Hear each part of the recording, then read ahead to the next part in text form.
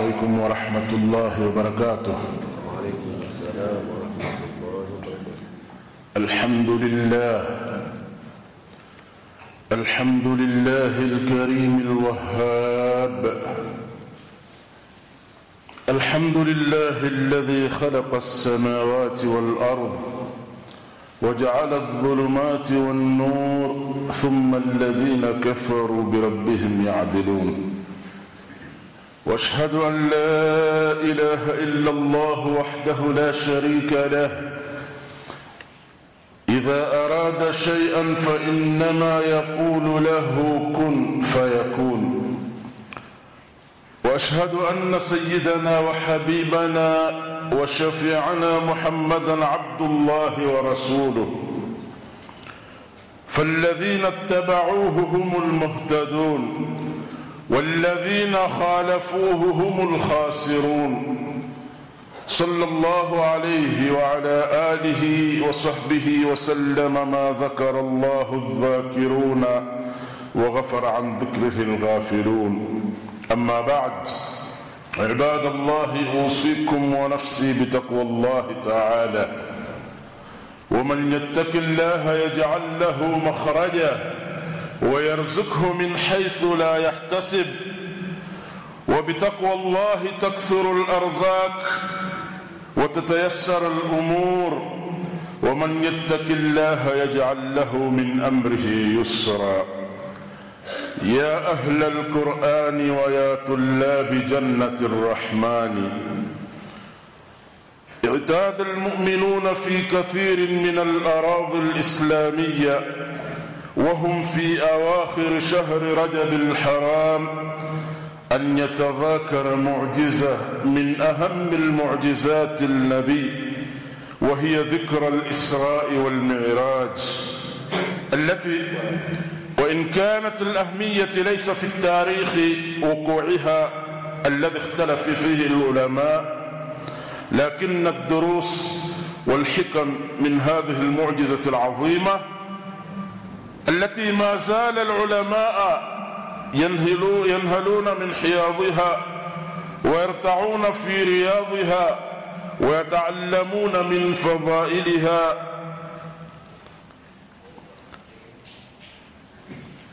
أيها الإخوة موضوع خطبتنا اليوم عن معجزة الإسراء والمعراج.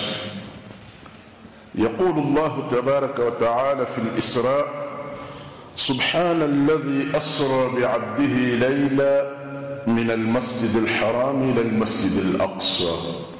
الذي باركنا حوله لنريه من آياتنا إنه هو السميع البصير. ويقول في المعراج والنجم إذا هوى ما ضل صاحبكم وما غوى وما ينطق عن الهوى. إن هو إلا وحي يوحى علمه شديد القوى ذو مرة فاستوى وهو بالأفق الأعلى. ثم دنا فتدلى فكان قاب قوسين. فأوحى إلى عبده ما أوحى. ما كذب الفؤاد ما رأى. أيها الإخوة موضوع خطبة ni kuhusiana na kisa cha Israi na Miraji. Utangulizi umeanza wiki jana katika khutba ya Ijumaa kama hii tulipoelezwa min asbabi hadhihi almu'jiza hiya tasliyat lifuad an-nabiy sallallahu alayhi wa alihi wasallam, miongoni mwa sababu kubwa za kupatikaniwa ni kule kufarijiwa bwana mtume sallallahu alaihi wa alihi wasahbihi wasallam baada ya dhiki kubwa alizozipata alipokuwa akiulingania Uislamu. Tumeelezwa mengi yaliyopita na dhiki alizozikumba alizokumbana nazo bwana mtume alaihi wasallam. Bwana mtume alaihi wasallam amepitia hali iliyokuwa ngumu, ameteswa kwa muda yeye na masahaba zake miongoni mwa mateso mara nyingi huelezeka katika tarehe tumezungumzia hata kwenye kutuba kama hizi. Kuna wakati amekufa ami yake na mkewe alipokuwa amekaa yuwaswali kwenye, kwenye harami lmakki amekuja abu jahli aduullah na, na, na utumbo wa ngamia alochinjwa kilo zaidi ya 40 akimwekea kwenye kichwa chake mtume amesujudu akashindwa kuinuka dhiki mpaka akaja sayidatina fatima na wakati huo ni kisichana kidogo kwa miaka kumi na mbili. Dhiki baba yake iwapitia akiondosha utumbo wa ngamia zaidi ya kilo 40 kumwinushia babake kwa husni alikuwa mateso gani ayapitia bwana mtume saa sallam haya ni baada ya kuwa wametengwa nje wako kwenye shibi abi talib kwa zaidi ya miaka mitatu kama tumboelezwa. Wamepata dhiki kwa mkataba waliofanya makureishi kuwatenga maswahaba na bwana mtume sala sallam. Amekaa nje kwa muda ameteswa katika hali kama ile. Baada ya kuondoshwa zile sanctions walizotiliwa na makureshi katika hali ya uzito kama ule ndo mwanzo waanza kurudi katika mji wao yakamkumba tena masaibu mengine kama tulivyoambiwa ya kuondokewa na ammi yake na mkewe aliokuwa ni mwema akimpenda na kuusaidia uislamu. Katika tarehe sote huambiwa saidatuna khadija alikuwa mtajiri. Utajiri wake ukiusimamisha uislamu lakini akifa hana kilichobakia mali yake yote ameipeana katika uislamu akitumia utajiri aliokuwa nao akisifika ndani ya maka walipotengwa miaka mitatu ameutumia wote kuusimamisha uislamu saidatuna khadija. Mpaka akija kufa hana mali yametumika kuusimamisha uislamu kukombolewa huyu ulikuwa huyu hakuna tena yale mali yalikuwa mpaka mtume kiajiriwa ni biashara ya khadija. Amekuja kuusaidia uislamu umesimama kwa mali yake yeye saidatuna khadija. Ameondoka kama yule. Alikuwa akisimama makureishi wasimuudhi mtume abi talib. Ameondoka. Wanazuoni wa tarehe wasema wengine muda baina yao ni wiki moja au siku tatu amekufa huyu hajatulia na majonzi huyu ameondoka. Yuko katika hali kama ile. Mtetezi alikuwa ammi akisimama naye kama kabila lake la banu hashim wote wakimsikiza ameondoka. Hana mtetezi mwingine. Alokuja badala yake alikuwa ambaye kwamba aweza kusimama kama kiongozi wa banu hashim ni abu lahab. Abu Lahab hamtaki hata kumsikia ni adui. Atamsaidia vipi? Ni majozi makubwa alikuwa nayo bwana mtume kuondoka abu talib. Kisha akaondoka azauji alhanin, ameondoka kipenzi bwana mtume sallama Sayyidatuna khadija. Ikawa ni dhiki kwake yeye ametoka akenda taif. Kama tulivyoeleza akitaraji ikiwa hawakukubali hawa basi kabila lingine lilokubwa karibu na hapa ni mji wa taif. Wacha nikawasikize hawa. Wakinikubali pengine nitapata nguvu. Wakenda akapatana na watu kina abduyalaili na wengine. Wale majanini ndo wakatafutwa kumpiga mawe bwana sallam. Akipigwa mpaka miguu yake ikawa ni yenye kuvuja damu ikawa karibu kuchuruzika katika ardhi. Katika riwayati saidina jibrili alikimbia kuzuia lau damu yake ingeligusa katika ardhi basi ilikuwa hakuna budi bali wangeangamizwa watu wa taif. Lakini akawa huzuia na mtume akiwaombea.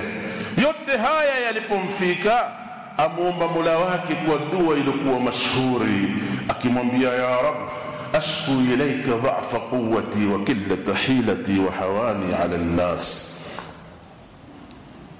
ya arhama rrahimina anta rabbi wa rabu lmustadhafina ewe mola nakushtakia ya rabbi kilio changu dhaifu sina nguvu sina uwezo wa kujitetea mimi mwenyewe sina nguvu za kusimama kimimi mwenyewe na ujanja mwingine sina tena. Sasa kila tahilati na hakuna ujanja mwingine nitatumia fikra gani? Angalia hii nimetoka kujaribu pengine nikiwapata hawa watalipa nguvu. Sina tena ujanja mwingine hapa sasa. Na unyonge wangu mbele za watu sasa nashindwa ya rabbi nataka msaada wako. Anta rabbi wa rabbul mustadhafina. Wewe ndo mola wangu na mola wa wanyonge wote utaniachia nani ya rabbi? Adui mwenye kuniangamiza na kunidhalilisha kila siku ndo utaniachia? Au nani ulimmilikisha amri yangu kuwa nani umeniachia ya rabbi? Kikubwa nachokwambia mola wangu nimepata udhalilifu nimepigwa nimepigwa nime, nime nimehujumiwa nimetukanwa nimefukuzwa nakwambia in lam yakun bika ghadabun alayya fala ubali ikiwa huna dhiki hujanikasirikia bwana mtume sallam dhiki yake aona pengine nimepigwa nimeteswa mungu amenikasirikia mimi pengine hayuko radhi na mimi mola wangu ya rabbi in lam yakun bika ghadabun alayya fala ubali ikiwa hujanikasirikia sijali liyafalu bi ma yasha in lam yakun bika ghadabun alayya يفعل ما يشاء. لا أبالي سجالي يا رب. غير أن عافيتك أوسع لي من ذنوبي. يا ربي حتى يكون بنجيني كنا حسيرة بس رحمة ياكو na msamaha ونشين لما madhambi yangu mimi ya أعوذ بنور وجهك الذي أشرقت به الظلمات. نجلينا يا رب.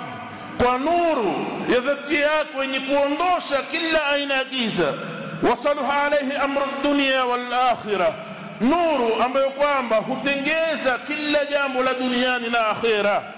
An yahilla alayya ghadhabuk najilinda ya rabbi isiwe imekuwa ni halali kwako wewe kunikasirikia mimi na ghadhabu zako. Wa an au an yunazzila bi sakhatik. Au isije ikawa imeshuka kwangu مكسرك وياك يا رب. لك العتبة حتى ترضى ولا حول ولا قوة إلا بك. يا رب ميمي بعد نجدي كيزا كوكوين بكا وردية نالية مالية ويانغو. بكا وردية ويمولا وانغو. حكونا نقوفو زم عصي ولا ميمة إلا. زهايا بنا صلى الله وسلم. ملواك يا كجا حراك كم بجوابو حراك كم بكليا نكما مولا مبيا.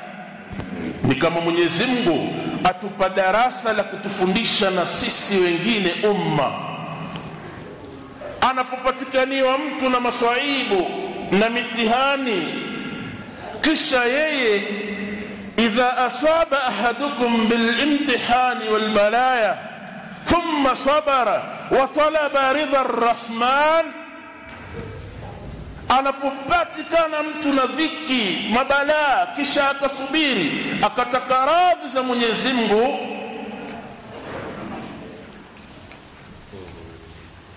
sayuabiduhu llahu ilaihi basi mwenyezi mungu subhanahu wa taala atamuinua yule kwa kuwa ataka radhi za mola wake hataki kitu kingine. Mwenyezi mungu lazima atamuinua. Hivi ndivyo alivyofanya kwa bwana mtume sala lla sallam mwenyezi mungu atamuinua kwake yeye ni katika darasa kubwa na sababu kubwa hizi sababu nyingine ya kupatikaniwa kisa hiki cha israi na miraji mwenyezi mungu azungumza na mtume wake amwambia wasal man qad arsalna min qablika min rusulina ajalna min duni rrahmani alihatan yubadun waulize tuliowatumiliza kabla yako katika mitume je tulijaalia mwingine asiokuwa mwenyezi mungu arrahmani anayeabudiwa wasal فالسؤال هنا كيف يسألهم وهو آخرهم ولم يلتقي بهم vipi mtume saa sallam naye ndo wa mwisho hajakutana nao. Mola wake mwambia fasal. Waulize hawa man arsalna min qablika min rusulina? Tuliwatuma kabla yako muhammad katika mitume wetu. Isalhum ajaalna min duni rrahmani alihatan yubadun kuna mwingine kajaaliwa asiokuwa mwenyezi wa kuabudiwa? Kaifa yasaluhum wahuwa lam yaltaqi bihim? Huwa akhiruhum fi lbath في البعثة يي ندو مويش ومتمليزو بنا متوم صلى الله عليه وسلم. أتوليزك ونمنغاني اجتمع الله له كل الأنبياء والمرسلين في هذا اليوم. من يسمك سبحانه وتعالى. ألم كسانية متوميوت نما نبي ولتمليزو ووت kwa من mwenyezi حسن hazungumzi jambo mbalo kwamba kwake aliona haliwezekani la waulize Muhammad. Hawa wote wamekusanyika. Ni aya yutla ila yaumi lqiyama aya tutaisoma mpaka kusimama kiama mola amwambia mtume waulize. Alikuwa awaulize kwa namna gani? Awauliza siku hii ya israi na miraji walipokusanyika mitume na anbiya. Bwana mtume saa sallam viki zilipokuwa zimepanda hali ni kama ile ngumu amerudi na masikitiko makubwa amekataliwa huku na huku mwenyezi mungu subhanahu wa taala akamtuma jibril alaihi salatu wassalam akaja kwa bwana mtume sallallahu alaihi wa alihi wasahbihi wasallam akamwambia ya rasul allah إن الله تعالى يدعوك لزيارة لزيارة الملأ الأعلى ملواك وكويتا kwenda kwenye ziara ya pahala pa juu وهذا لا يعني أن الله في المكان تنزه الله عن المكان hii haikusudii kuwa mwenyezi mungu yuko sehemu kuwa ndo jibrili akaja kumchukua bwana mtume salllahu alaihi wasallam kutoka ardhini kwenda naye mwenyezi mungu hayuko wala yahtaju ila makan wala hahitajii sehemu ya yani mola wetu هيتجي اختار الله الملأ الأعلى لأن يكلم النبيه كما اختار طور سيناء لكلام موسى الكليم. أم تقوى من يزمك سبحانه وتعالى؟ أولي من قولي كزنهم زنم تمواكي. كما علم تقوى من يزمك طور سيناء كزنهم سيدنا موسى عليه الصلاة والسلام؟ ولا يعني ذلك أن الله في ذاك المكان. Wala haikusudiwi kuwa mola yuko katika sehemu ile alopelekwa bwana mtume salllahu alehi wasallam. Haina maana hiyo ya kusudia amechukuliwa na sababu kubwa kama zinavyoashiria aya zote hizi. Asema mwenyezi mungu subhanahu wataala katika israi ametakasika mola ambaye kwamba subhana ladhi asra biabdihi ametakasika mola ambaye kwamba amemchukua mja wake وهذا الدليل على أن الإسراء كان بالجسد والروح يقظة ليس مناما hii ni dalili tosha ya kuwa israi ni, ni, ni kwa kiwiliwili na roho akiwa macho bwana mtume salllahu alehi wasallam kuwa amechukuliwa amepelekwa katika safari tena lailan وليلا تعقيد على أقل على على أقل مدة على أقل مدة الإسراء. ليلا. وسباب الإسراء هي سفر الليل. إسراء أي كتاج وقد قالوا كراب سفر تو, طيب اللي تشيلزك ومن يسمى من بلك مجاوك يوسيكو لكن لما قال الله ليلا كان تاكيدا لتقصير مدة الإسراء. Aliposema mwenyezi mungu lailan ilikuwa ni taakidi ya kuonyesha muda wa israeli ulikuwa mchache sana. Hata baadhi ya ulama katika, kuelezea wakasema alipotoka kwenye hijri ya ummuhani inda albaiti pale karibu na bait alharam masjid alharam alipotoka kuna mti wa mtende ulikuwa pale kando akaugusa mtume saa salama kwa nguo yake au kwa kibega lake ukawa unatikisika aliporudi kutoka kwenye israi kuwa bado ukawa hutikisika mti ule ashamaliza safari yake yote kuonyesha uchache wa muda ai fi baadhi llaili sehemu ndogo ya usiku ule كما أخبر عن ذلك النبي صلى الله عليه وسلم فيما رواه الإمام البخاري وغيره ألف إليسا عن أنس بن مالك عن أبو ذر الغفاري وغيره ألف إليسا هو متون سلم alikuja asema nilikuwa nimekaa baina alyaqdhati walmanami fi hijrin inda albayt idha atani jibril alayhi salatu wassalam nilikuwa nimelala muftajian baina rajulain nilikuwa nimelala baina ya watu wawili qila hamza qila hamza wa jaafar bin abi talib alikuwa amelala baina ya hamza na jaafar bin abi talib akaja jibrili akamuinua katikati yao akamchukua na kumpeleka katika safari kama hii. Ametakasika mola ambaye kwamba kamjaalia bwana mtume sallama kusafiri usafari ya usiku baadhi ya usiku. Min masjid lharami ila almasjid alaqsa. Kutoka msikiti mtukufu wa makka mpaka masjid alaqsa. Angalia wakati ule sehemu ile masjid alharami wakati ule ni masjid alharami lakini ndani kunao masanamu na kadhalika lakini pamoja na hivyo mwenyezi mungu bado ukaitukuza kuwa ni msikiti uliokuwa mtukufu. Masjid al-aqsa wakati ule uko chini ya suhuyuni wametawala mpaka sasa umerudi kwenye utawala. Lakini bado ni kama bishara ametoka msikitini na kuelekea msikitini sehemu iliyokuwa tukufu. Tena alladhi barakna haula msikiti tuloubariki pambizoni mwake. Umejaa baraka wametafsiri wanazuoni tafsiri kwa maana kadha wa kadha. Baraka iliyokusudiwa ni gani? Hiya mambithul wahi wa kadha. Na hata mpaka wanazuoni wa kileo wenye kuitafsiri Qur'ani na sayansi na kadhalika, wengine wameielezea sababu ya kupelekwa Israi, hakuchukuliwa Makka akainuliwa moja kwa moja, kuwa kila sehemu na mbingu ina milango, mbingu ina milango yake. Kwa hivyo kila sehemu utaona kuna sehemu maalumu za kupandiwa, hazendi ovyo ovyo. Hata utawaona wenye kupeleka vyombo vya kwenda juu angani, si kila sehemu huinua vyombo vyao, huwa kuna sehemu maalumu huchaguliwa. Afrika ikaangaliwa, kuna sehemu fulani hupita kile gombo, na sehemu zingine za Ulaya, bara Asia na Amerika na kadhalika, kuna sehemu maalumu, kuwa si kila sehemu hupita vile vyombo kwa sababu ya milango maalumu. Ni katika jitihada za wanazuoni na elimu zao.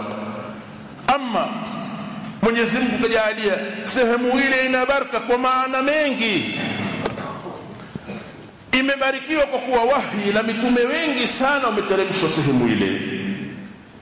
Sehemu ile kuna miraji ambayo kwamba hupanda roho za waumini kuelekea kwa mola. Kuna mambo kadhaa zilizoelezwa katika hadithi. Muda hauwezi kutosha kuelezea yote ni sehemu iliyobarikiwa. Kumbuka katika aya hata sayidina ibrahimu alipokuwa akizungumza awaambia wenzake baada ya kutaka kuteketezwa na nimrudi inni dhahibun ila rabbi sayahdini. Hakupanda juu mbinguni wala kwenda wapi. Alikuwa akusudia kuelekea katika nini masjid al-aqsa akaelekea sayyidina ibrahima asema huku dhahibun ila rabb. Nenda kwa mola wangu sasa akikusudia pahala palipobarikiwa na area iliyoshika mitume na kadhalika. Mola wake kampokea ikawa ndo sehemu kwamba ni awwalul qibla ndo kibla cha kwanza cha waumini. Ayuha alikhwa alikuja jibrili kwa mukhtasari kwa kuwa kiswa ni kirefu na katika msikiti huu tutakizungumzia kikikiswa siku ya Jumatatu baada ya maghrib, kwa uchache, kwa ufupi kukieleza, ili watu wapate kufahamu siku ya Jumatatu. Pengine huuliza wakati mwingine, kwa nini iwe usiku wa 27? Na kuna kauli za ulamai, hatuwezi kuzidharau zilizokuwa na nguvu kuwa ni kauli hizi. Kuna kauli zingine hatukatai wengine kuambia mtume hakukusanya watu kusoma wewe mrongo hakukusanya watu hadithi zimetufikia vipi za Israeli na Miraji kama mtume hakukusanya watu kaifa balaghana la hadithi imetufikia vipi hizi hadithi za Israeli na Miraji mtume hakukusanya watu utakuwa mrongo wewe. Dalili ya kuwa mtume amekusanya watu hadithi tulioanza nayo bukhari imepokea kutoka kwa anas. Anas alikuwa na miaka kumi. Mtume saa salam akiingia madina.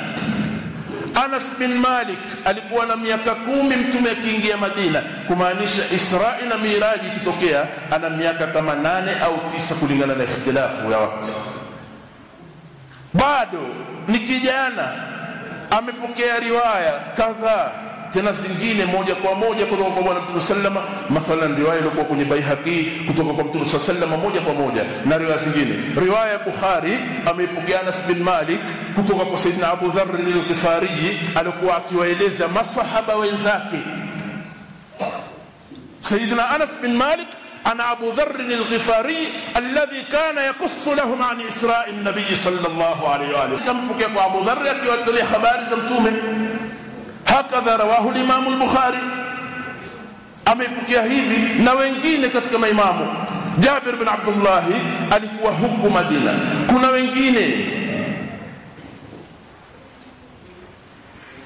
Kina abdallah bin zubair bin alawam hajazaliwa kamwe kuja kuzaliwa baada ya hijra. Abdallah bin abbas riwaya zake kadhaa. Abu hureira hajaingia hata katika uislamu israi na miraji abu hureira amesilimu mwaka wa saba wa mtume kuhamia madina. Angalia katika vitabu vya hadithi ana hadithi ngapi za israi na miraji? Mwaka wa saba yani ni miaka tisa baada ya Israeli katika kauli moja, au miaka kadhaa. Kuna wengine husema Israeli ilikuwa miaka mitano kabla ya hijra, itakuwa zaidi ya miaka kumi. Abu hureira bado amepokea hadithi, Mtume amwambia mimi niliposafirishwa usiku ilitokea kadha kadha kadha, kisha wewe watuambia Mtume hakukusanya watu kuambia, itakuwa tukuamini wewe ama hawa waliopokea hadithi za Bwana Mtume alaihi wasallam? Walisikia vipi? Waliingia rohoni mwake, wakasikia, kisha wakatoka amewakusanya akiwaeleza nilipopelekwa kulikuwa kadha kadha. Aisha alikuwa na miaka mingapi? Yuko Makka.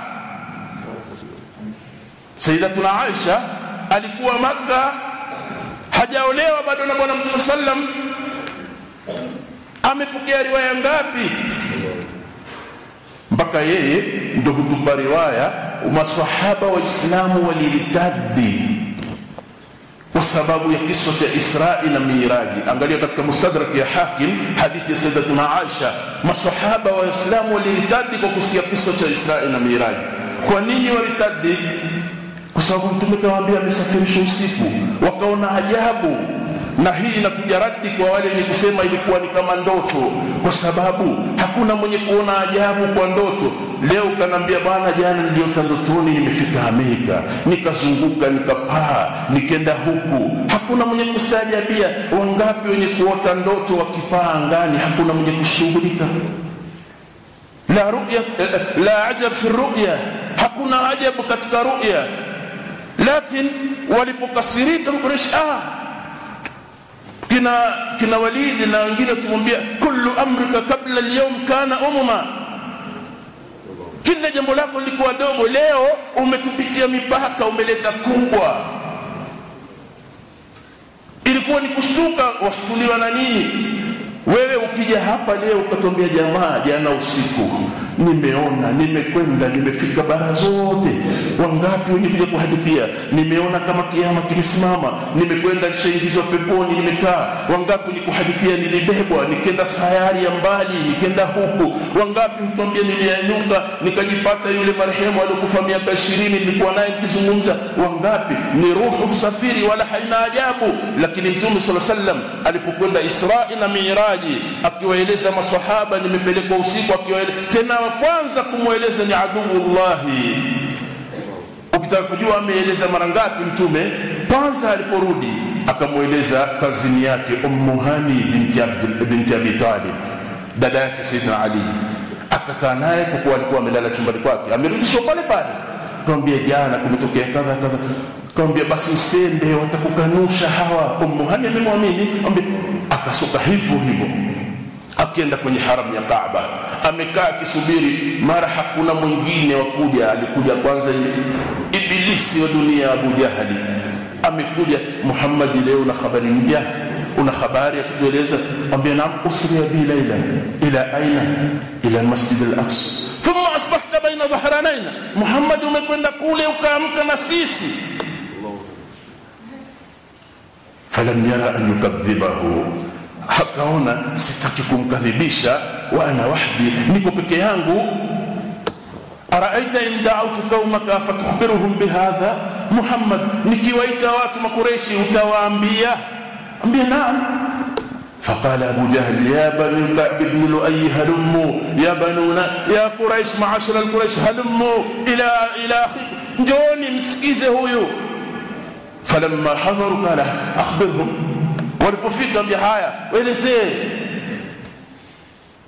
فقال nabi صلى الله عليه bi أسري بي nimesafirishwa usiku mimi ila aina ila bait almaqdis thumma asbahta baina dhahrak kisha ukapambaukiwa hapa asubuhi wewe uko makka umetoka bait almaqdis usiku muhammad famin baini musfikun wa min bain yani raf min yadihi ila rasi wa min bain yani sahil kuna mwenye kupiga kelele kuna mwenye kumpigia makofi kama kejeli ah wewe umeshinda leo kuna mwingine hufanya kila aina ya mambo akamfanyia bwana mtume sallallahu alaihi wasallam وارتد بعض المؤمنين وكارتاد بعض يا watu كما جاء في المستدرك الحاكم عن عائشه وكارتاد بعض يا